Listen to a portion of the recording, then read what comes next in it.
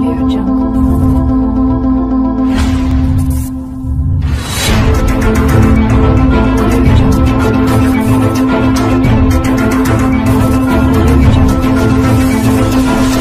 friends Y P M ബ്ലോഗിലേക്ക് എല്ലാവർക്കും കൃത്യമായ സ്വാഗതം. നമ്മൾ സാമൂഹ്യശാസ്ത്രത്തിന്റെ ഒരു ഭാഗമായ ഭൂമിശാസ്ത്രവുമായി ബന്ധപ്പെട്ട ക്ലാസ്സുകളുമായിട്ടാണ് നമ്മൾ പോകുന്നത്. ഇതിന്റെ അഞ്ചാമത്തെ വീഡിയോ ആണ് നിങ്ങൾക്ക് ഇതിലൂടെ ഇന്ന് കിട്ടുന്നത്. സൗരയൂഥത്തിന്റെ തുടർച്ചയായ ക്ലാസ്സാണ്. ഇവിടെ ഇന്ന് രണ്ട് ഗ്രഹങ്ങളെക്കുറിച്ചാണ് നമ്മൾ പറയാൻ പോകുന്നത്. എനിക്ക് നിങ്ങളോട് തുടക്കം പറയാനുള്ളത്. ആത്മാർത്ഥമായിട്ടുള്ള ആഗ്രഹവും നമ്മുടെ പ്രവൃത്തിയുമാണ് നമ്മുടെ വിജയത്തിലേക്ക് എത്തിക്കുന്ന പ്രധാനപ്പെട്ട ഘടകം. അതിന്റെ കൂടെ എത്ര തവണ നിങ്ങൾക്ക് വായിക്കാൻ പറ്റുന്നോ അത്രയും തവണ നിങ്ങൾ എന്ത് ചെയ്യുക? വായിക്കുക. അതാണ് നിങ്ങളുടെ വിജയത്തിന്റെ ഏറ്റവും വലിയ ആയുധം. അപ്പോൾ ഇവിടെ ഇന്ന് നമ്മൾ ക്ലാസ്സിലേക്ക് പോവുകയാണ്. നമ്മൾ ഒരു അഞ്ച് ക്വസ്റ്റ്യൻ നിങ്ങൾക്ക് കാണാം. ഇങ്ങനെ ഒരു ക്വസ്റ്റ്യൻ കാണുമ്പോൾ നമുക്ക് ഉത്തരം ഓടി വരുന്നുണ്ടോ? നമ്മളെ മനസ്സിലേക്ക് ഉത്തരം വരുന്നുണ്ടോ നോക്കുക. ഇതാണ് റിവിഷന്റെ പ്രത്യേകത. നിങ്ങൾ ഒരുപാട് പ്രാവശ്യം റിവിഷൻ ചെയ്യുകയാണെങ്കിൽ നിങ്ങൾ ഉത്തരം ചോദ്യം കാണുമ്പോഴേക്ക് നിങ്ങളുടെ ഉത്തരം നിങ്ങളുടെ മൈൻഡിൽ ഓടി വരും. അത്രക്കും സ്പീഡിൽ ഞാൻ നിങ്ങളോട് പറഞ്ഞിട്ടുണ്ട് ഒരു മണിക്കൂർ ഒന്നേകാൽ മണിക്കൂറാണ് നമുക്കുള്ള സമയം. ഒരു മിനിറ്റിൽ ഒരു ചോദ്യത്തിന് ഉത്തരം എഴുതിയാൽ പോരാ. ഒരു മിനിറ്റിൽ മൂന്ന് ചോദ്യങ്ങൾക്ക് ഉത്തരം എഴുതാനുള്ള സ്പീഡ് ഉണ്ടാവണം. അതിന് നിങ്ങൾ എന്ത് ചെയ്യണം? റിപ്പീറ്റ് ചെയ്ത് പഠിക്കും. പഠിക്കുന്ന ഭാഗം ഒരു ലെവലേശം പോലും സംശയമില്ലാത്ത തരത്തിൽ നമുക്ക് തന്നെ ഇത് തന്നെയാണ് ഉത്തരം എന്ന് നമുക്ക് സ്വയം പറയാൻ പറ്റുന്ന രീതിയിൽ. ആര് ചോദിച്ചാലും എവിടെ പരീക്ഷ നടത്തിയാലും നമുക്ക് എന്ത് ചെയ്യണം? യാതൊരു സംശയമില്ലാത്ത തരത്തിൽ അത് തന്നെയാണ് ഉത്തരം എന്ന് പറയാനുള്ള കോൺഫിഡന്റോട് കൂടി നമ്മൾ പഠിക്കുക. ഇവിടെ അഞ്ച് ക്വസ്റ്റ്യൻ ഉണ്ട്. ഈ അഞ്ച് ക്വസ്റ്റ്യനും കാണുമ്പോൾ നിങ്ങൾക്ക് ഉത്തരം കിട്ടണം. അതിന് സംശയം ഉണ്ടാവരുത് അപ്പോൾ ഞാൻ ക്വസ്റ്റ്യൻ ഞാൻ പറയുകയാണ് പാത്ത് ഫൈൻഡർ ഏത് രാജ്യത്തിന്റെ ബഹിരാകാശ പേടകമാണ്? ഉത്തരം അറിയാം അറിയുന്നവർ നിങ്ങളെ നോട്ട്ബുക്കിലൊക്കെ എഴുതി വെക്കുക. കറുത്ത ചന്ദ്രൻ എന്നറിയപ്പെടുന്ന ഉപഗ്രഹം ഏത്? കേട്ടതാണോ നിങ്ങൾ ഒരുപാട് പരീക്ഷയ്ക്ക് വന്ന ക്വസ്റ്റ്യൻ ആയതുകൊണ്ടാണ്. സൗരയൂഥത്തിലെ ഏറ്റവും വലിയ അഗ്നിപർവതം ഏത്?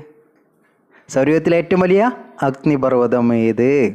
ഭൂമധ്യരേഖയുടെ ചുറ്റളവ് എത്രയാണ്? ഭൂമധ്യരേഖ പ്രദേശത്തിന്റെ ചുറ്റളവ് എത്രയാണ്? പല പരീക്ഷയിലും വന്ന ചോദ്യമാണ്.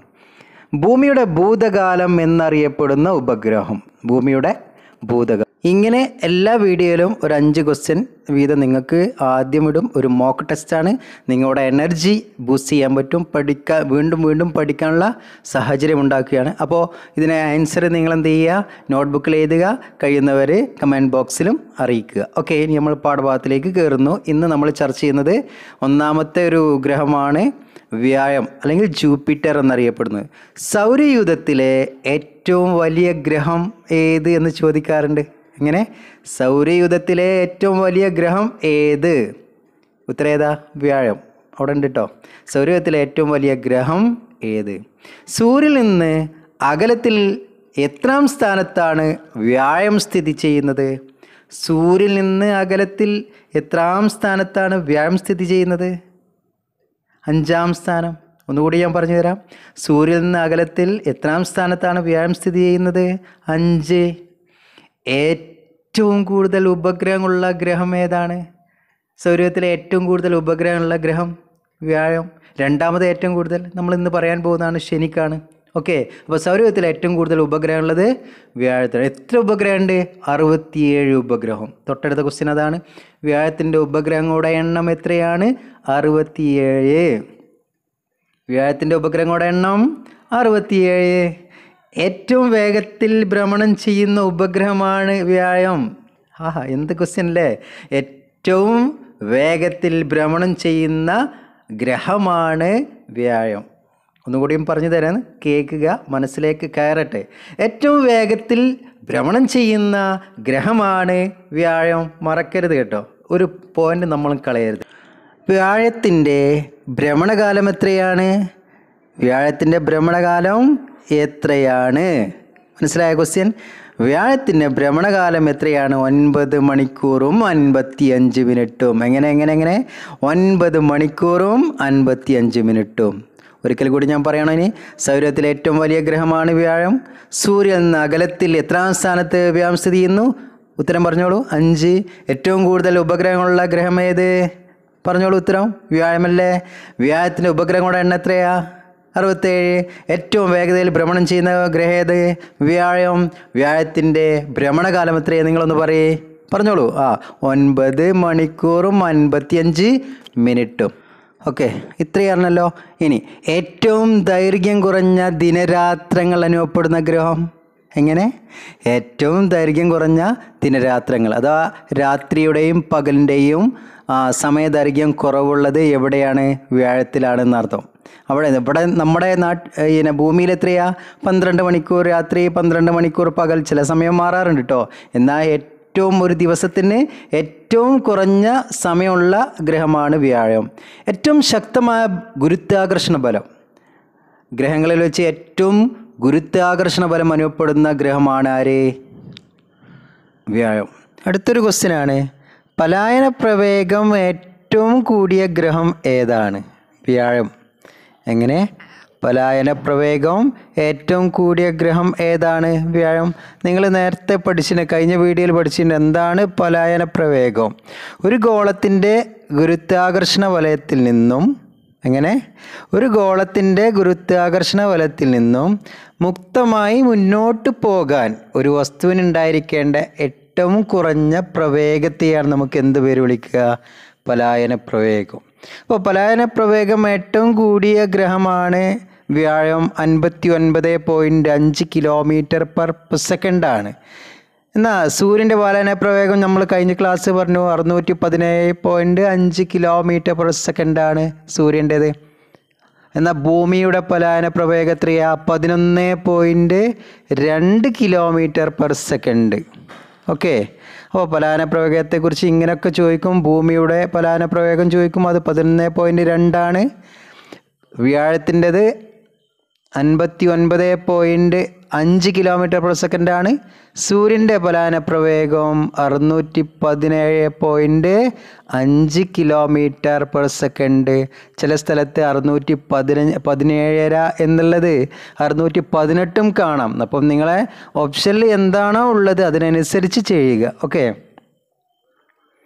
വലിയ ചുവന്ന പൊട്ട് വലിയ ചുവന്ന പൊട്ട് കാണപ്പെടുന്ന ഗ്രഹം ഏതാണ്? എങ്ങനെ നിങ്ങൾ കേട്ട് കാണും ഇത്? വലിയ ചുവന്ന പൊട്ട് ദ ഗ്രേറ്റ് റെഡ് സ്പോട്ട് കാണപ്പെടുന്ന ഗ്രഹം ഏതാണ്? മനസ്സിലായ ചോദ്യം? ഏതാണ്? വലിയ ചുവന്ന പൊട്ട് കാണപ്പെടുന്ന ഗ്രഹം ഏതാണ്? വ്യാഴം. മറക്കരുത് കേട്ടോ. ഒരു വ്യാഴവട്ടക്കാലം എത്ര വർഷമാണ്? പന്ത്രണ്ട് വർഷം. കൃത്യമായിട്ട് പറഞ്ഞാൽ പതിനൊന്ന് പോയിന്റ് എട്ട് ആറ് ഭൗമവർഷം.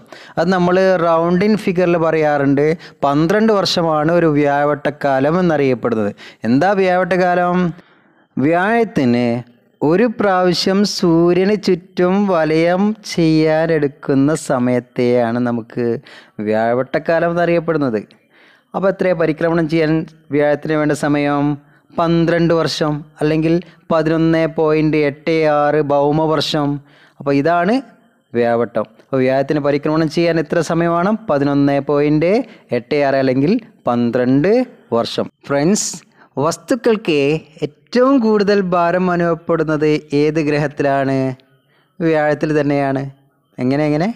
വസ്തുക്കൾക്ക് ഏറ്റവും കൂടുതൽ ഭാരം അനുഭവപ്പെടുന്നത് ഏത് ഗ്രഹത്തിലാണ് വ്യാഴത്തിലാണേ.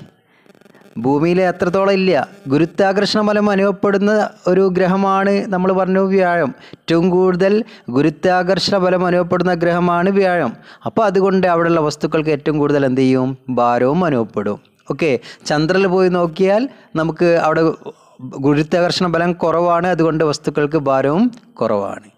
ഏറ്റവും ശക്തമായ കാന്തിക മണ്ഡലമുള്ള ഗ്രഹം?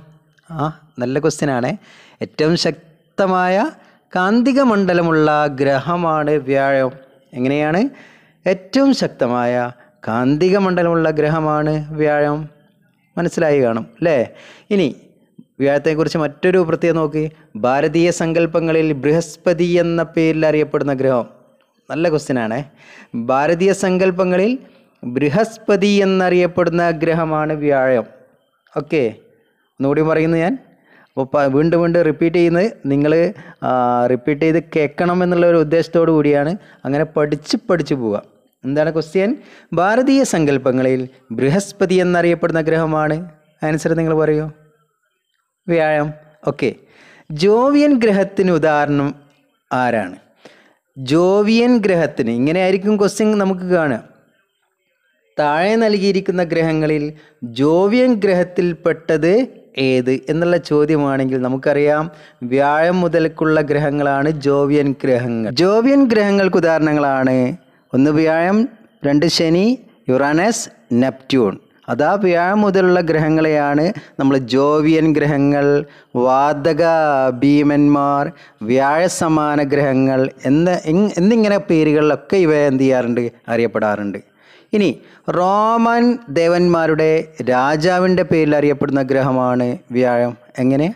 റോമൻ ദേവന്മാരുടെ രാജാവിന്റെ പേരിൽ അറിയപ്പെടുന്ന ഗ്രഹമാണ് വ്യാഴം. ഇനി ദ്രവഗ്രഹം വ്യാഴത്തിന്റെ മറ്റൊരു പേരിൽ അറിയപ്പെടുന്നുണ്ട് ദ്രവഗ്രഹം. മറക്കാതിരിക്കാൻ ഒന്നുകൂടി അമർത്തി പറയുന്നു ഞാൻ ഊന്നി പറയുന്നു ദ്രവഗ്രഹം എന്ന പേരിൽ അറിയപ്പെടുന്ന ഗ്രഹം ഏത്? സൗരയൂഥത്തിലെ ദ്രവഗ്രഹം എന്ന പേരിൽ അറിയപ്പെടുന്ന ഗ്രഹം ഏത് എന്ന് ചോദിച്ചാൽ നമ്മൾ എഴുതി കൊടുക്കുന്നു വ്യാഴം. തെറ്റിപ്പോലെ നമ്മൾ തെറ്റിക്കൂല. ക്ഷുദ്രഗ്രഹങ്ങൾ. ഇപ്പോൾ എന്താണ് ക്ഷുദ്രഗ്രഹങ്ങളൊക്കെ നമ്മൾ ഡീറ്റെയിൽ പറഞ്ഞിട്ടുണ്ട്. എങ്കിലും ഞാനൊന്നുകൂടി പറയുകയാണ് വ്യാഴത്തിനും ചൊവ്വക്കും ഇടയിൽ കാണുന്ന ഗ്രഹസമാനമായ ചെറിയ വസ്തുക്കളുടെ പേരാണ് ക്ഷുദ്രഗ്രഹങ്ങൾ അല്ലെങ്കിൽ ചിഹ്നഗ്രഹങ്ങൾ അപ്പോൾ ചൊവ്വ വ്യാഴം ഇതിനിടയിൽ കാണപ്പെടുന്ന ഇങ്ങനെ ഗ്രഹത്തിന്റെ രൂപത്തിൽ കാണപ്പെടുന്ന വസ്തുക്കളെയാണ് ഗോളങ്ങളെയാണ് ക്ഷുദ്രഗ്രഹങ്ങൾ. സൗരയുധത്തിന്റെ ചിഹ്നഗ്രഹ ബെൽറ്റ് കാണപ്പെടുന്നത് എവിടെയാണ്? സൗരയുധത്തിലെ ചിഹ്നഗ്രഹ ബെൽറ്റ്. ഒരുപാട് ചിഹ്നഗ്രഹങ്ങൾ കാണപ്പെടുന്ന പ്രദേശം ചൊവ്വ വ്യായം അതിനെയാണ് നമുക്ക് ചിഹ്നഗ്രഹ ബെൽറ്റ് എന്നറിയപ്പെടുന്നത്. വ്യാഴത്തിലെ പ്രധാന മൂലകങ്ങൾ അല്ലേ ഗ്രഹത്തിൽ ഓരോ ഗ്രഹത്തിലും ഓരോ മൂലകങ്ങളുണ്ടാവും. അപ്പോൾ ഓരോന്നായിരിക്കും ഏറ്റവും കൂടുതൽ കാണപ്പെടുന്നത്. വ്യത്യസ്ത അളവിലായിരിക്കും വ്യത്യസ്ത വാതകങ്ങളും മൂലകങ്ങളും കാണപ്പെടുക. അപ്പോൾ വ്യാഴത്തിൽ ഏറ്റവും കൂടുതൽ കാണപ്പെടുന്ന പ്രധാന രണ്ട് മൂലകങ്ങളാണ് ഒന്ന് ഹൈഡ്രജനും മറ്റൊന്ന് ഹീലിയവും. അപ്പോൾ വ്യാഴത്തിലെ പ്രധാന മൂലകങ്ങളാണ് ഹൈഡ്രജനും ഹീലിയവും. അപ്പോൾ നമ്മളൊന്നും തെറ്റിക്കാതെ നമ്മൾ വീണ്ടും വീണ്ടും കേൾക്കണം. അത് നോട്ട് എഴുതി വെക്കും വേണം. ഇനി ആയിരത്തി തൊള്ളായിരത്തി തൊണ്ണൂറ്റി നാലിൽ വ്യാഴത്തിൽ പതിച്ച വാൽനക്ഷത്രം ഏതാണ്? ചുമക്കാർ ലവി. ആയിരത്തി തൊള്ളായിരത്തി തൊണ്ണൂറ്റി നാലിൽ വ്യാഴത്തിൽ പതിച്ച വാൽനക്ഷത്രമാണ് ഷൂമാക്കർ ലവി. എന്താ അപ്പം ഷൂമാക്കർ ലവി? ഒരു നക്ഷത്രമാണ് ഒരു വാൽനക്ഷത്രമാണ്. ഏത് വർഷം പതിച്ച്? ആയിരത്തി തൊള്ളായിരത്തി തൊണ്ണൂറ്റി നാലിൽ അത് തിരിച്ച് നമ്മളോട് ക്വസ്റ്റ്യൻ ചോദിക്കും ഷൂമാക്കർ ലവി എന്നറിയപ്പെടുന്ന വാൽനക്ഷത്രം എന്ത് ചെയ്തു? പതിച്ചത് എന്ന ഏത് വർഷത്തിലാണ്? ആയിരത്തി തൊള്ളായിരത്തി തൊണ്ണൂറ്റി നാലിൽ അപ്പോൾ ഒരു ക്വസ്റ്റ്യൻ അങ്ങോട്ടും ഇങ്ങോട്ടും തിരിച്ചൊക്കെ ചോദിക്കും നമ്മളോട്. ഓക്കെ ഇനി സൗരയൂഥത്തിലെ ഏറ്റവും കൂടുതൽ ഉപഗ്രഹങ്ങളുള്ള ഗ്രഹം ആരാ? വ്യാഴം. നമ്മൾ പറഞ്ഞിട്ടുണ്ടായിരുന്നു അറുപത്തിയേഴ് ഉപഗ്രഹം തുടക്കത്തിൽ പറഞ്ഞതാണ് വീണ്ടും അത് ചോദിച്ചു. അവിടെ എത്ര എണ്ണം എന്നാണ് പറഞ്ഞിരുന്നത്? ഇവിടെ ചോദിച്ച സൗരയൂഥത്തിൽ ഏറ്റവും കൂടുതൽ ഉപഗ്രഹങ്ങളുള്ള ഗ്രഹമാണ്. ഒരു ക്വസ്റ്റ്യൻ ഒരു പോയിന്റ് തന്നെ പല രീതിയിൽ നമ്മളോട് ചോദിക്കും. അപ്പോൾ കൃത്യമായിട്ട് നല്ല സംശയമില്ലാത്ത രീതിയിൽ നമ്മൾ പഠിക്കുക എന്നാണ് നമ്മുടെ നമ്മുടെ പ്രവർത്തനം. നമ്മുടെ പ്രവർത്തനം അത് നന്നായിട്ട് പോകുന്നുവെങ്കിൽ ഉറപ്പാണ് നമ്മുടെ ലക്ഷ്യം നമ്മുടെ കയ്യിലേക്ക് വരും. ഇനി വ്യാഴത്തിന്റെ ഏറ്റവും വലിയ ഉപഗ്രഹമാണ് ഗ്യാനിമിഡ് എന്താണ്? വ്യാഴത്തിന്റെ ഏറ്റവും വലിയ ഉപഗ്രഹമാണ് ഗാനിമിഡ് എന്നറിയപ്പെടുന്നത്. ഇത് തന്നെയാണ് സൗരയൂഥത്തിലെ ഏറ്റവും വലിയ ഉപഗ്രഹവും. എങ്ങനെയാണ്? വ്യാഴത്തിലെ ഏറ്റവും വലിയ ഉപഗ്രഹമാണ് ഗാനിമേഡ്. വ്യാഴത്തിലെ ഏറ്റവും വലിയ ഉപഗ്രഹമാണ് ഗാനിമേഡ്. അപ്പോൾ സൗരയൂഥത്തിലെ ഏറ്റവും വലിയ ഉപഗ്രഹമോ ഗാനിമേഡ്. നമ്മളോട് ഇങ്ങനെ ചോദിക്കുന്നു സൗരയൂഥത്തിലെ ഏറ്റവും വലിയ ഉപഗ്രഹം ഏതാണ്? ഗാനിമേഡ്. നമ്മൾ പേനെടുത്ത് കറപ്പിക്കുന്നു. ഓക്കെ ഒരു ഡൗട്ടും ഇല്ല. ബബിൾ ചെയ്യുമ്പോൾ പുറത്തേക്ക് പോകാൻ മതി. ഉത്തരം നമ്മൾ ശരിയായിരിക്കും. ഗലീലിയ ഉപഗ്രഹങ്ങൾ കാണപ്പെടുന്നത് വ്യാഹത്തിന്റെ ഉപഗ്രഹങ്ങൾ. ഗലീലിയൻ ഉപഗ്രഹങ്ങൾ കാണപ്പെടുന്നത് വ്യാഹത്തിന്റെ ഉപഗ്രഹങ്ങളെയാണ്. ഗലീലിയൻ ഉപഗ്രഹങ്ങൾ എന്ന പേരിൽ അറിയപ്പെടുന്നത് വ്യാഹത്തിന്റെ ഉപഗ്രഹങ്ങളെയാണ്. ഓക്കെ. അപ്പോൾ ഒന്നുകൂടി പറയുന്നു. ആയിരത്തി തൊള്ളായിരത്തി തൊണ്ണൂറ്റി നാലിൽ വ്യാഴത്തിൽ പതിച്ച വാൽനക്ഷത്രം ഏത്? ഉത്തരം നിങ്ങളാണ് പറയേണ്ടത്. ശുമാക്കർ ലവി. സൗരയത്തിലെ ഏറ്റവും കൂടുതൽ ഉപഗ്രഹങ്ങളുള്ള ഗ്രഹം ഏതാണ്? വ്യാഴം. വ്യാഴത്തിൽ ഏറ്റവും വലിയ ഉപഗ്രഹമാണ് ആര്? ഗാനിമീട്ട് ഇനിയോ സൗരത്തിലെ ഏറ്റവും വലിയ ഉപഗ്രഹം ഏത്? ഓക്കെ അതാണ് ഗാനിമേറ്റ് ഇനി ഗലീലിയൻ ഉപഗ്രഹങ്ങൾ കാണപ്പെടുന്ന ഏത് ഗ്രഹത്തെയാണ്? ഏത് ഗ്രഹത്തിലെ ഉപഗ്രഹങ്ങളെയാണ്? വ്യാഴത്തിന്റെ ഉപഗ്രഹങ്ങളെയാണ്. നമുക്ക് എന്ത് പേരിൽ അറിയപ്പെടുന്നത്? ഗലീലിയൻ ഉപഗ്രഹങ്ങൾ എന്ന പേരിൽ അറിയപ്പെടുന്നത്. ഓക്കെ ഇത്രയും ക്ലിയറായി മനസ്സിലായല്ലോ? സിമ്പിളാണ്. ഇനി ഏതൊക്കെയാണ് ഗലീലിയ ഉപഗ്രഹങ്ങൾ? അതാ ഗലീലിയൻ ഉപഗ്രഹങ്ങൾ എന്നറിയപ്പെടുന്നത്. Io Callisto then Europa. ഏതൊക്കെ? Io Callisto Europa.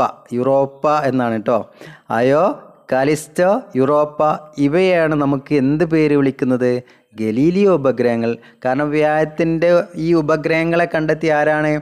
ഗലീലിയോ ആണ്. അതുകൊണ്ടാണ് ഈ ഉപഗ്രഹങ്ങളെ എന്ത് പേരിൽ അറിയപ്പെടുന്നത്? ഗലീലിയോ ഉപഗ്രഹങ്ങൾ എന്നറിയപ്പെടുന്നത്. അപ്പോൾ ഗലീലിയോ ഉപഗ്രഹങ്ങൾ ആരൊക്കെയാണ്? Io Callisto Europa. മനസ്സിലായി കാണും വിചാരിക്കുന്നു. ഗലീലിയോ ഉപഗ്രഹങ്ങൾ ആരൊക്കെയാ? Io Callisto Europa. ഇത്രയും ഉപഗ്രഹങ്ങളെയാണ് നമുക്ക് എന്ത് പേര് വിളിക്കുക? ഗലീലിയോ ഉപഗ്രഹങ്ങൾ എന്ന പേരിൽ അറിയപ്പെടുന്നത് ഇനി ഗ്രീക്ക് ദേവരാജാവായ സിഹിയുസിന്റെ ഭാര്യ അവരുടെ പുത്രിമാർ എന്നിവരുടെ പേര് നൽകിയിരിക്കുന്ന ഉപഗ്രഹമുള്ളത് ആർക്കാണ്? വ്യാഴത്തിനാണ്. വലിയൊരു ക്വസ്റ്റ്യനാണ് ഗ്രീക്ക് ദേവരാജാവാണ് ആര്? സിയൂസ് ഹിസ്റ്ററിയിൽ ചോദിക്കുന്ന ഒരു ക്വസ്റ്റ്യനാണ് ഓക്കെ അതേ അവരുടെ ഭാര്യ അവരുടെ പുത്രിമാർ ഇവരുടെ പേര് ഉള്ള ഉപഗ്രഹങ്ങളുണ്ട്. ആ ഉപഗ്രഹങ്ങൾ ഏത് ഗ്രഹത്തിനാണ്? വ്യായാം ഗ്രഹത്തിന്റെ ഉപഗ്രഹങ്ങൾക്കാണ്. ഗ്രീക്ക് ദേവരാജാവായ സിഹോസിന്റെ ഭാര്യയുടെയും പുത്രിമാരുടെയും പേര് നൽകിയിരിക്കുന്നത്. ക്ലിയർ ആയോ? അപ്പോൾ ഗ്രീക്ക് ദേവരാജാവായ സിയൂസിന്റെ ഭാര്യ പുത്രിമാരുടെ പേര് നൽകിയിരിക്കുന്നത് ഏത് ഗ്രഹത്തിന്റെ ഉപഗ്രഹങ്ങൾക്കാ? വ്യാഴത്തിന്റെ. മറക്കരുതേ. ഓക്കെ നെക്സ്റ്റ് ചെറു സൗരയുധം എന്നറിയപ്പെടുന്ന ഒരു നമ്മളെ ഷുവർ ക്വസ്റ്റ്യൻ ആണ്. നിങ്ങൾ പഴയ P S C question paper എടുത്ത് നോക്കൂ അതിൽ കാണാം. ചെറു സൗരയുധം എന്നറിയപ്പെടുന്നത് ഏത് ഗ്രഹത്തിന്റെ ഉപഗ്രഹ കൂട്ടത്തെയാണ് വ്യാഴത്തിന്റെ. അപ്പോൾ വ്യാഴത്തിന് ഒരുപാട് അറുപത്തിയേഴ് ഉപഗ്രഹങ്ങളുണ്ടെന്ന് നമ്മൾ പറഞ്ഞല്ലോ. ആ അറുപത്തിയേഴ് ഉപഗ്രഹങ്ങളെ കണ്ടാൽ നമ്മളെ സൗരയുധത്തിനെ പോലെ നിൽക്കുന്നു. അതുകൊണ്ടാണ് ചെറു സൗരയുദ്ധം എന്ന പേരിൽ അറിയപ്പെടുന്നത്. ഓക്കെ സെൻട്രൽ സൂര്യന് പകരം ആര് നിൽക്കുന്നു വ്യാഴം നിൽക്കുന്നു അതിന് ചുറ്റും ഒരുപാട് എന്തുണ്ട്? ഉപഗ്രഹങ്ങളുണ്ട്. അതുകൊണ്ടാണ് ഇതിനെ ചെറു സൗരയൂഥം എന്നറിയപ്പെടുന്നത്. അപ്പോൾ ചെറു സൗരയൂഥം എന്നറിയപ്പെടുന്നത് ആരാ? വ്യാഴമാണ്. ഇനി സൗരയൂഥത്തിലെ സജീവ അഗ്നിപർവതങ്ങൾ കാണപ്പെടുന്ന ഉപഗ്രഹമാണ് അയോ. സജീവ അഗ്നിപർവതങ്ങൾ കാണപ്പെടുന്ന ഉപഗ്രഹമാണ് അയോ. അയോ നമ്മൾ പറഞ്ഞിട്ടുണ്ട് ഗലീലിയൻ ഗലീലിയൻ ഉപഗ്രഹമാണ് അയോ. ഈ അയോ ഉപഗ്രഹത്തിൽ ആരെ കാണപ്പെടുന്നു? സജീവ അഗ്നിപർവതങ്ങൾ. ഏറ്റവും സാന്ദ്രത കൂടിയ ഉപഗ്രഹമാണ് ആര്? അയോ. നല്ല ക്വസ്റ്റ്യനാണ് ഏറ്റവും സാന്ദ്രത കൂടിയ ഉപഗ്രഹമാണ് അയോ. ഓക്കെ ഏറ്റവും സാന്ദ്രത കൂടിയ ഗ്രഹം ഏതായിരുന്നു? ഭൂമിയാണ്. ഏറ്റവും സാന്ദ്രത കൂടിയ ഉപഗ്രഹം ഏതാ? അയോ. വൻതോതിൽ റേഡിയോ തരംഗങ്ങൾ പുറന്തള്ളുന്ന ഗ്രഹം ഏതാണ്? വ്യാഴം. അപ്പോൾ വ്യാഴത്തിൽ എന്താണ്? വലിയ തോതിലുള്ള റേഡിയോ തരംഗങ്ങൾ പുറത്തേക്ക് വിടുന്ന ഗ്രഹമാണ് ആര്? വ്യാഴം. വ്യാഴത്തെക്കുറിച്ച് പഠിക്കാൻ നാസ വിക്ഷേപിച്ച ബഹിരാകാശ പേടത്തിന്റെ പേരാണ് ഗലീലിയോ. നമ്പർ വൺ ക്വസ്റ്റ്യൻ വ്യയത്തെക്കുറിച്ച് പഠിക്കാൻ നാസ അയച്ചിരിക്കുന്ന ഒരു ബഹിരാകാശ പേടകത്തിന്റെ പേരാണ് ആര്? ഗലീലിയോ. ഒരിക്കൽ കൂടി പറയുന്നു ചെറു സൗരയൂഥം എന്നറിയപ്പെടുന്നത് വ്യായത്തിന്റെ ഉപഗ്രഹങ്ങളെയാണ്. സജീവ അഗ്നിപർവതം കാണപ്പെടുന്ന ഉപഗ്രഹം അയോ ആണ്. ഏറ്റവും സാന്ദ്രത കൂടിയ ഗ്രഹം ഭൂമിയാണ് സാന്ദ്രത ഏറ്റവും കൂടിയത്. എന്നാൽ സാന്ദ്രത ഏറ്റവും കൂടിയ ഉപഗ്രഹമോ? അയോ വൻതോതിൽ റേഡിയോ തരംഗങ്ങൾ പുറന്തള്ളുന്ന ഗ്രഹം ഏത് ചോദിച്ചാലോ? വ്യാഴമാണ്. വ്യാഴത്തെക്കുറിച്ച് പഠിക്കാൻ നാസ വിക്ഷേപിച്ച ഉപഗ്രഹമാണ് ആര്? പേടകമാണ് ഗലീലിയോ. ഇനി ശനിയെക്കുറിച്ചാണ്. നമ്മളെ രണ്ടാമത്തെ ഇന്നത്തെ ടോപ്പിക്കാണ് ഗ്രഹമാണ് ശനി. സൗരയുദ്ധത്തിലെ രണ്ടാമത്തെ വലിയ ഗ്രഹം എങ്ങനെയാ? സൗരയുദ്ധത്തിലെ രണ്ടാമത്തെ വലിയ ഗ്രഹമാണ് ശനി. മറക്കരുത്. സൗരയുദ്ധത്തിലെ രണ്ടാമത്തെ വലിയ ഗ്രഹമാണ് ശനി. ഓക്കെ. സൂര്യനിൽ നിന്ന് അകലത്തിലോ എത്രാം സ്ഥാനം നിൽക്കുന്നു? ആറാം സ്ഥാനം. സൂര്യനിൽ നിന്ന് അകലത്തിൽ എത്രാം സ്ഥാനം നിൽക്കുന്നു? ആറാം സ്ഥാനത്ത് കിടക്കുന്നതാണ് ആര്? ശനി. മറക്കരുത്. ഏ? സൗരത്തിൽ എത്രാമത്തെ? അകലത്തിൽ എത്രാമത്തെ? ആറാമത്തെ ഗ്രഹമാണ്. നഗ്നനേത്രങ്ങൾ കൊണ്ട് കാണാൻ കഴിയുന്ന ഗ്രഹങ്ങളിൽ ഏറ്റവും അകലെയുള്ളത് വ്യാഴമാണ്. നമ്മൾ ഭൂമിയിൽ നോക്കിയാൽ മറ്റൊരു ഗ്രഹത്തെ നമുക്ക് നമ്മളെ കണ്ണുകൊണ്ട് കാണാൻ പറ്റുമെന്നർത്ഥം അങ്ങനെയുള്ള ഒരു ഗ്രഹമാണ് ആര്? വ്യായം അഥവാ നഗ്നനേത്രം കൊണ്ട് കാണാൻ കഴിയുന്ന ഗ്രഹങ്ങളിൽ ഏറ്റവും അകലെയുള്ളതാണ് ആര്? വ്യായം ഏറ്റവും സാന്ദ്രത കുറഞ്ഞ ഗ്രഹം. അപ്പോൾ സാന്ദ്രത കൂടിയതായിരുന്നു ഭൂമി. സാന്ദ്ര കൂടിയ ഉപഗ്രഹം ഏതായിരുന്നു? അയോ. ഏറ്റവും സാന്ദ്ര കുറഞ്ഞ ഉപഗ്രഹം ഏതാ? ശനി. ഭ്രമണവേഗത കൂടിയ രണ്ടാമത്തെ ഗ്രഹം ശനിയാണ്. ഭ്രമണവേഗത കൂടിയ രണ്ടാമത്തെ ഗ്രഹം ഏതാണ്? ശനി. അപ്പോൾ ഭ്രമണവേഗത കൂടുതൽ ആർക്കേണ്ടായിരുന്നത് വ്യാഴത്തിന്. അതുകൊണ്ട് അവിടെ ദിവസത്തിന് ദൈർഘ്യം കുറവായിരുന്നു. ഭ്രമണവേഗത കൂടിയ രണ്ടാമത്തെ ഗ്രഹമാണ് ശനി. റോമക്കാരുടെ കാർഷിക ദേവന്റെ പേരിൽ അറിയപ്പെടുന്ന ഗ്രഹം കൂടിയാണ് ശനി. എങ്ങനെയാ? റോമക്കാരുടെ കാർഷിക ദേവന്റെ പേരിൽ അറിയപ്പെടുന്ന ഗ്രഹമാണ് ശനി. എങ്ങനെ എങ്ങനെ എങ്ങനെ? റോമക്കാരുടെ കാർഷിക ദേവന്റെ പേരിൽ അറിയപ്പെടുന്ന ഗ്രഹമാണ് ശനി. വാർഷിക വലയങ്ങൾ കാണപ്പെടുന്ന വാർഷിക വലയങ്ങൾ കാണപ്പെടുന്ന ഗ്രഹമാണ് ശനി. വാർഷിക വലയങ്ങൾ കാണപ്പെടുന്ന ഗ്രഹം ഏത് എന്ന നമ്മളെ പരീക്ഷയ്ക്ക് ചോദിക്കുക. എങ്ങനെ ചോദിക്കുക? വാർഷിക വലയങ്ങൾ സൗരയത്തിൽ വാർഷിക വലയങ്ങൾ കാണപ്പെടുന്ന ഗ്രഹം ഏത് എന്ന് ചോദിച്ചാൽ നമ്മൾ കൃത്യമായിട്ട് പഠിച്ചു വെച്ചതാണ്. എഴുതി കൊടുക്കും കറപ്പിച്ചു കൊടുക്കും നമ്മൾ അടുത്ത ശനിയുടെ വാർഷിക വലയങ്ങൾക്ക് ആദ്യമായി കണ്ടെത്തിയ വ്യക്തി ഗലീലിയോ? അടിപൊളി ക്വസ്റ്റ്യൻ ആണ് അല്ലേ ശനിയുടെ വാർഷിക വലയങ്ങൾ ആദ്യമായിട്ട് കണ്ടെത്തിയ വ്യക്തി ഗലീലിയോ. ശനിയുടെ വാർഷിക വലയങ്ങൾ ആദ്യമായി കണ്ടെത്തിയ വ്യക്തിയുടെ പേരാണ് ഗലീലിയോ. അപ്പോൾ ശനിയുടെ വാർഷിക വലയങ്ങൾ കണ്ടെത്തിയ ഗലീലിയോ ഗലീലിയാണ്. ആയിരത്തി അറുന്നൂറ്റി പത്തിൽ എന്നാ കണ്ടെത്തിയത്? ആയിരത്തി അറുന്നൂറ്റി പത്തിൽ ഉപഗ്രഹങ്ങളുടെ എണ്ണത്തിൽ ശനിക്ക് എത്രാം സ്ഥാനമാണ് രണ്ടാം സ്ഥാനം.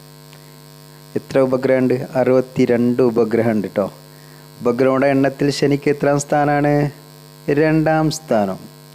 ഇതിന്റെ ഉപഗ്രഹങ്ങളുടെ എണ്ണം എത്രയാണ്? ശനിയുടെ ഉപഗ്രഹങ്ങളുടെ എണ്ണം എത്രയാ? അറുപത്തി രണ്ട് ഇപ്പോൾ ഉപഗ്രഹങ്ങളുടെ കാര്യത്തിൽ ഒന്നാം സ്ഥാനം ഏത് ഗ്രഹത്തിന്? നമ്മളിപ്പോൾ പഠിച്ചല്ലോ. വ്യാഴത്തിന്. വ്യാഴത്തിന് എത്ര ഉപഗ്രഹങ്ങളുണ്ട്? അറുപത്തിയേഴ്. അപ്പോൾ ശനിക്കോ? അറുപത്തി രണ്ട് അപ്പോൾ ഉപഗ്രഹങ്ങളുടെ എണ്ണത്തിൽ ശനിക്ക് രണ്ടാം സ്ഥാനവും വ്യാഴത്തിന് ഒന്നാം സ്ഥാനമാണുള്ളത് മാറരുത് കേട്ടോ. അപ്പോൾ ഇങ്ങനെ ചെറിയ ചെറിയ കാര്യങ്ങളൊക്കെ ഇങ്ങനെ ഒന്ന് കമ്പയർ ചെയ്ത് കണക്ട് ചെയ്ത് പഠിക്കുക. അപ്പം നമ്മൾ എന്ത് ചെയ്യും? പരീക്ഷയ്ക്ക് വളരെ എളുപ്പമായിട്ട് വരും. ഓക്കെ ബുദ്ധിമുട്ടുള്ള ഒരു കാര്യവും നമുക്കില്ല ഈ ഭൂമിയിലില്ല. ഒന്ന് മനസ്സ് വെച്ചാൽ നമുക്ക് ചെയ്യാവുന്ന കാര്യങ്ങളേ ഉള്ളൂ. ഇനി അടുത്തൊരു ചോദ്യം കാണാം. ഗ്രേറ്റ് വൈറ്റ് സ്പോട്ട് കാണപ്പെടുന്നത് ഏത് ഗ്രഹത്തിലാണ്? എങ്ങനെ? ഗ്രേറ്റ് വൈറ്റ് സ്പോട്ട് അനുഭവപ്പെടുന്നത് ഏത് ഗ്രഹത്തിലാണ്? ശനിയിലാണ് ഗ്രേറ്റ് വൈറ്റ് സ്പോട്ട് കാണപ്പെടുന്നത്. ഒന്ന് കേട്ടോ ഒന്നുകൂടി കേട്ടോളി. ഗ്രേറ്റ് വൈറ്റ് സ്പോട്ട് കാണപ്പെടുന്നത് ഏത് ഗ്രഹത്തിലാണെന്നുള്ള ചോദ്യത്തിന് നമ്മൾ എന്ത് ആൻസറാണ് ചെയ്യേണ്ടത്? ശനി. എന്നാൽ ചുവന്ന പൊട്ട് റെഡ് സ്പോട്ട് ചുവന്ന പൊട്ട് അല്ലെങ്കിൽ റെഡ് സ്പോട്ട് എന്നറിയപ്പെടുന്ന സ്ഥലം ഏതിലുണ്ടായിരുന്നത് വ്യാഴത്തിലുണ്ടായിരുന്നത് അല്ലേ? എന്താണ്? ചുവപ്പടയാളം വലിയ ചുവപ്പടയാളം ഗ്രേറ്റ് റെഡ് സ്പോട്ട് എവിടെ ഉണ്ടായിരുന്നത്? വ്യാഴത്തിൽ എന്നാൽ വൈറ്റ് സ്പോട്ട് എവിടെ ഉള്ളത്? ഗ്രേറ്റ് വൈറ്റ് സ്പോട്ട് എവിടെ ഉള്ളത്? ശനിയിലാണ്. മറ്റൊരു സ്പോട്ടും കൂടിയുണ്ട് വലിയ കറുത്ത പൊട്ട്. അഥവാ ഗ്രേറ്റ് ഡാർക്ക് സ്പോട്ട് ഇത് എവിടെ കാണപ്പെടുന്നത്? നെപ്റ്റ്യൂൺ. ഒന്നുകൂടി ഉറപ്പിക്കാൻ വേണ്ടി പറയുന്നു. ഗ്രേറ്റ് റെഡ് സ്പോട്ട് കാണപ്പെടുന്നത് വ്യാഴത്തിലാണ്. ഗ്രേറ്റ് വൈറ്റ് സ്പോട്ട് കാണുന്നത് ശനിയിലാണ്. ഇനി വലിയ കറുത്ത പൊട്ട് കാണപ്പെടുന്നത് നെപ്റ്റ്യൂണിനുമാണ്. ഗ്രീക്ക് പുരാണ കഥാപാത്രങ്ങളുടെ പേര് നൽകിയ ഉപഗ്രഹങ്ങളുള്ളത് ഏത് ഗ്രഹത്തിനാണ്? ശനിയുടെ ഉപഗ്രഹത്തിനാണ് ഗ്രീക്കിലെ ഗ്രീക്കിലെ പുരാണ കഥാപാത്രങ്ങളുടെ പേര് നൽകിയിരിക്കുന്നത്. അപ്പോൾ ഒന്നുകൂടി കൃത്യമായി ശ്രദ്ധിക്കുക. ഗ്രീക്ക് പുരാണ കഥാപാത്രങ്ങളുടെ പേര് നൽകിയ ഉപഗ്രഹങ്ങൾ ഏത് ഗ്രഹത്തിനാണുള്ളത്? ശനിക്ക്. അപ്പോൾ ശനിക്ക് ഗ്രീക്കിലെ പുരാണ കഥാപാത്രങ്ങളുടെ പേര് നൽകിയിരിക്കുന്നു. ടൈറ്റൻ ഏത് ഗ്രഹത്തിന്റെ ഉപഗ്രഹമാണ്? ടൈറ്റൻ ഏത് ഗ്രഹത്തിന്റെ ഉപഗ്രഹമാണ്? ശനി. ടൈറ്റൻ ഏത് ഗ്രഹത്തിന്റെ ഉപഗ്രഹമാണ്? ശനി. എന്നാൽ ട്രൈറ്റൻ എന്നുണ്ട്. ട്രൈറ്റൻ അത് നെപ്റ്റ്യൂണിന്റെ ഉപഗ്രഹമാണ്. നെപ്റ്റ്യൂണിന്റെ ഉപഗ്രഹമാണ് ട്രൈറ്റൻ ടൈറ്റൻ ഏത് ഉപഗ്രഹത്തിന്റെ ഏത് ഗ്രഹത്തിന്റെ ഉപഗ്രഹമാണ്? ശനി. ശനിയുടെ ഉപഗ്രഹങ്ങൾ ഇതാണ്. അറ്റ്ലസ് ഹെലൻ പ്രോമത്യൂസ് പണ്ടോറ കാലിസ്പോ ഇതൊക്കെ ശനിയുടെ ഉപഗ്രഹങ്ങളാണ്. അടുത്തൊരു ക്വസ്റ്റ്യനാണ് പൊടിപടലങ്ങളും മഞ്ഞുകട്ടകളാലും നിർമ്മിതമാണ് ശനിയുടെ വലയമെന്ന് നിർവഹിച്ചതാരാ വില്യം ഹെർഷൽ. ശനിക്ക് വലയങ്ങളുണ്ടെന്ന് കണ്ടെത്തി. ശനിക്ക് വലയങ്ങളുള്ളത് കണ്ടെത്തിയിട്ടുണ്ട്. അത് വില്യം ഹെർഷലാണ്. പൊടിപടലങ്ങളും മഞ്ഞുകട്ടകളാലും നിർമ്മിതമാണ് ശനിയുടെ വലയങ്ങൾ എന്ന് നിർവചിച്ചത്. കരിമഴ ബ്ലാക്ക് റെയിൻ വർഷിക്കുന്ന ഗ്രഹമാണ് ശനി. എന്ത് മഴ? കരിമഴ അല്ലെങ്കിൽ ബ്ലാക്ക് റെയിൻ വർഷിക്കുന്ന ഗ്രഹമാണ് ശനി. ഒന്നുകൂടി കേൾക്കുക. കരിമഴ ബ്ലാക്ക് റോയിൻ വർഷിക്കുന്ന ഗ്രഹമാണ് ശനി. നിങ്ങൾ ആദ്യമായിട്ട് കേൾക്കുകയാണോ? ഒന്നുകൂടി ശ്രദ്ധിച്ചാൽ മതി. അപ്പോൾ നിങ്ങൾക്ക് പരിചയമായാൽ ഇത് എന്ത് ചെയ്യും? നമ്മുടെ പരീക്ഷയ്ക്ക് നമുക്ക് സിമ്പിളായിട്ട് എഴുതാൻ പറ്റും. കരിമഴ അല്ലെങ്കിൽ ബ്ലാക്ക് റോയിൻ വർഷിക്കുന്ന ഗ്രഹമാണ് ശനി. സൂപ്പർ വിൻഡ് എന്ന കൊടുങ്കാറ്റ് വീശുന്ന ഗ്രഹവും ശനി തന്നെയാണ്. സൂപ്പർ വിൻഡ് എന്ന കൊടുങ്കാറ്റ് വീശുന്ന ഗ്രഹവും ശനി തന്നെയാണ്. ഏത് കൊടുങ്കാറ്റ? Super wind. സൂപ്പർ വിൻഡ് ശനി. ശനിയുടെ ഉപഗ്രഹങ്ങളുടെ എണ്ണം എത്രയാണ്? അറുപത്തി രണ്ട് ശനിയുടെ ഉപഗ്രഹങ്ങളുടെ എണ്ണം അറുപത്തിരണ്ട്. ശനി ശനിയുടെ പാലായന പ്രവേഗം. ശനിയുടെ പാലായന പ്രവേഗം മുപ്പത്തി അഞ്ച് പോയിന്റ് അഞ്ച് കിലോമീറ്റർ പെർ സെക്കൻഡ് ശനിയുടെ പാലായന പ്രവേഗം എത്രയാ? മുപ്പത്തി അഞ്ച് പോയിന്റ് അഞ്ച് കിലോമീറ്റർ പെർ സെക്കൻഡ് ഓക്കെ ജലത്തിന്റെ സാന്ദ്രതയേക്കാൾ എങ്ങനെ? ജലത്തിന്റെ സാന്ദ്രതയേക്കാൾ കുറഞ്ഞ സാന്ദ്രതയുള്ള ഗ്രഹം കൂടിയാണ് ആര്? ശനി. അപ്പോൾ ഏറ്റവും സാന്ദ്രത കുറഞ്ഞ ഗ്രഹമാണ് ശനി. മനസ്സിലാക്കുക. സാന്ദ്രത കൂടിയൊക്കെ നമ്മൾ പഠിച്ചതല്ലേ? ഗോൾഡൻ ജെയിൻ എന്നറിയപ്പെടുന്ന ഗ്രഹം ശനി തന്നെയാണ്. ഗോൾഡൻ ജെയിൻഡ് എന്നറിയപ്പെടുന്ന ഗ്രഹം ശനി തന്നെയാണ്. ശനിയുടെ ഏത് ഉപഗ്രഹത്തിലാണ് സമുദ്രജലത്തിന്റെ സാന്നിധ്യം കണ്ടെത്തിയിരിക്കുന്നത്? ടൈറ്റാൻ.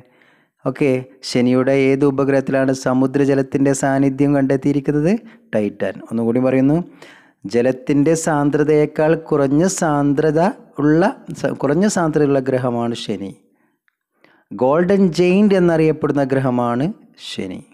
ശനിയുടെ ഏത് ഉപഗ്രഹത്തിലാണ് സമുദ്രജലത്തിന്റെ സാന്നിധ്യം കണ്ടെത്തിയെന്ന് വെച്ചാൽ നമുക്ക് എന്താ പറയേണ്ടത്? ടൈറ്റാൻ. വളരെ സിമ്പിളായ ഏരിയകളാണ്. നമുക്ക് അത് ഓരോന്നും ഒരു സംശയമില്ലാത്ത തരത്തിൽ പഠിച്ചു പോയാൽ നമുക്ക് ഒരു ബേജാറും വേണ്ട. പരീക്ഷ സിമ്പിളായിട്ട് നിങ്ങൾക്ക് എഴുതി പോരാം. ഓക്കെ അപ്പോൾ മറ്റൊരു ക്വസ്റ്റ്യൻ കൂടി കാണാം. ടൈറ്റാനെ കുറിച്ചാണ് ചോദിക്കുന്നത് പറയുന്നത്. ടൈറ്റാൻ ശനിയുടെ ഉപഗ്രഹമാണെന്ന് പറഞ്ഞു നമ്മൾ ശനിയുടെ ഏറ്റവും വലിയ ഉപഗ്രഹം കൂടിയാണ് ആര്? ടൈറ്റാൻ ശനിയുടെ ഏറ്റവും വലിയ ഉപഗ്രഹമാണ് ടൈറ്റാൻ എങ്ങനെ ശനിയുടെ ഏറ്റവും വലിയ ഉപഗ്രഹമാണ് ടൈറ്റാൻ. ടൈറ്റാൻ. ഭൂമിയുടെ അപരൻ എന്ന പേരിൽ അറിയപ്പെടുന്ന ഉപഗ്രഹമാണ് ടൈറ്റാൻ. ഭൂമിയുടെ അപരൻ എന്നറിയപ്പെടുന്ന ഉപഗ്രഹം കൂടിയാണ് ടൈറ്റാൻ. ഭൂമി കഴിഞ്ഞാൽ വ്യക്തമായ അന്തരീക്ഷമുള്ള ആകാശഗോളം. ആഹാ. എങ്ങനെ? ഭൂമി കഴിഞ്ഞാൽ വ്യക്തമായ അന്തരീക്ഷമുള്ള ആകാശഗോളമാണ് ടൈറ്റാൻ. മനസ്സിലായില്ല? ഭൂമിയിൽ നമുക്ക് അന്തരീക്ഷമുണ്ടല്ലോ. ഇതേമാതിരി അന്തരീക്ഷം എവിടെയുള്ളത്? ടൈറ്റാനിലുള്ളത്. ആ ടൈറ്റാൻ ആരുടെ ഉപഗ്രഹമാണ്? ശനിയുടെ ഉപഗ്രഹമാണ്. ഇവിടെ വ്യത്യസ്ത വാതകങ്ങൾ മൂലകങ്ങളൊക്കെ നിലനിൽക്കുന്നുണ്ട്. ഇതേമാതിരി ഒരു അന്തരീക്ഷമുള്ള ഒരു ഗ്രാം ഒരു ഉപഗ്രഹമാണ് ടൈറ്റാൻ. ഓക്കെ. ടൈറ്റാനെ കണ്ടെത്തിയത് ക്രിസ്ത്യൻ ഹൈജൻസ്. ടൈറ്റാൻ എന്നുള്ള ഉപഗ്രഹത്തെ കണ്ടെത്തിയതാരാ ക്രിസ്ത്യൻ ഹൈജൻ. ടൈറ്റാനെ കണ്ടെത്തിയതാരാ ക്രിസ്ത്യൻ ഹൈജൻ. ടൈറ്റാന്റെ അന്തരീക്ഷത്തിൽ സുലഭമായി കാണപ്പെടുന്ന വാതകമാണ് നൈട്രോജൻ. എങ്ങനെയാ? ടൈറ്റാന്റെ അന്തരീക്ഷത്തിൽ സുലഭമായി കാണപ്പെടുന്ന ഒരുപാട് അളവിൽ കാണപ്പെടുന്ന വാതകമാണ് ആര്? നൈട്രജൻ. മറക്കരുത്. ടൈറ്റാന്റെ അന്തരീക്ഷത്തിൽ സുലഭമായി കാണപ്പെടുന്ന വാതകമാണ് ആര്? നൈട്രജൻ. വളരെ സിമ്പിളായുള്ള ടോപ്പിക്കായിരുന്നു നമുക്ക് ഇതുവരെ ചർച്ച ചെയ്തു പോകുന്നത്. ഇത് നിങ്ങൾ എന്താ ചെയ്യേണ്ടി ചോദിച്ചാൽ ഇപ്പോൾ വ്യാഴം ശനി എന്നുള്ള ടോപ്പിക്ക് നമ്മൾ എന്ത് ചെയ്തു? കംപ്ലീറ്റ് ചെയ്തു. ഇവിടെ നമുക്ക് ഒരുപാട് പോയിന്റുകൾ നമ്മൾ എന്ത് ചെയ്തു? ഡിസ്കസ് ചെയ്യുണ്ടായി. നിങ്ങൾ ഒരു വട്ടം ഇത് കേട്ടു. ഈ കേട്ട് കഴിഞ്ഞാൽ ഇതോടുകൂടി നിങ്ങൾ ഈ ഒരു കാര്യം നിർത്തുകയല്ല വേണ്ടത്. പകരം ഇത് കഴിഞ്ഞ ഉടനെ തന്നെ നിങ്ങൾ എന്ത് ചെയ്യുക? ഫ്രീ ആയിട്ട് ഇതൊക്കെ ക്ലോസ് ചെയ്ത് വെച്ചിട്ട് കേട്ട കാര്യങ്ങൾ ഒരിക്കൽ കൂടി നിങ്ങൾ എന്ത് ചെയ്യുക? ഓർത്ത് നോക്കുക. ഓർത്തിട്ട് കിട്ടുന്നില്ലെങ്കിൽ വീണ്ടും ഒരിക്കൽ കൂടി നിങ്ങൾ എഴുതി വച്ചിരിക്കുന്ന നോട്ട്ബുക്കിലോ അല്ലെങ്കിൽ വീഡിയോ ഒരിക്കൽ കൂടി ഓണാക്കിക്കൊണ്ട് നിങ്ങൾ എന്ത് ചെയ്യുക? കേൾക്കുക. എന്നിട്ട് കിടക്കുമ്പോഴും നടക്കുമ്പോഴും ഫ്രീ ആയി നിൽക്കുന്ന സമയത്തോ എന്തെങ്കിലും ജോലി ചെയ്യുന്ന സമയത്തോ ഈ ഒരു പഠിച്ച കാര്യങ്ങൾ വൺ ബൈ വൺ ആയിട്ട് ആ ഓർഡറിൽ തന്നെ ഓർക്കാൻ പറ്റുന്നുണ്ടെങ്കിൽ ഷുവർ എഴുതി വെച്ചോളൂ. നിങ്ങൾ ആ പരീക്ഷയിൽ എല്ലാ ചോദ്യത്തിനും എന്ത് ചെയ്യും? ഉത്തരം എഴുതും. നിങ്ങൾ ടോപ്പ് റാങ്കറായി മാറുകയും U P S A L P S A അസിസ്റ്റന്റായിട്ട് നിങ്ങൾക്ക് എന്ത് ചെയ്യാം? മാറാം. എല്ലാ ഭാഗങ്ങളും നേരുന്നു. ഇനി നമുക്ക് ഇതിന്റെ തുടർന്നുള്ള വീഡിയോസുകൾ അടുത്ത ദിവസം കാണാം. എല്ലാവർക്കും വിജയാശംസകൾ നേരുന്നു. നന്നായി പഠിക്കാൻ കഴിയട്ടെ. ആത്മാർത്ഥതയോടുകൂടി നിങ്ങൾ പഠിച്ച് നല്ല കോൺഫിഡന്റ് ആയിരിക്കട്ടെ നിങ്ങൾക്ക് എനിക്ക് ചെയ്യാൻ പറ്റും. ഞാനിത് നേടും എന്നുള്ള വിശ്വാസത്തോടു കൂടി തന്നെയാണ് നിങ്ങൾ പുസ്തകത്തിൽ ഇരിക്കേണ്ടതും പുസ്തകത്തെ നോക്കി കാണേണ്ടതും അതിനെ ഇഷ്ടപ്പെടുക നന്നായിട്ട്. നിങ്ങൾ ഓരോ സബ്ജക്റ്റും എനിക്ക് അറിയാനുള്ളതാണ്. പരീക്ഷയ്ക്ക് വേണ്ടി മാത്രമുള്ളതല്ല എനിക്ക് അറിയാൻ കൂടിയുള്ളതാണെന്ന് മനസ്സിലാക്കി പഠിക്കുക എല്ലാവർക്കും നല്ലൊരു ആശംസകൾ നേരുന്നു. Okay thank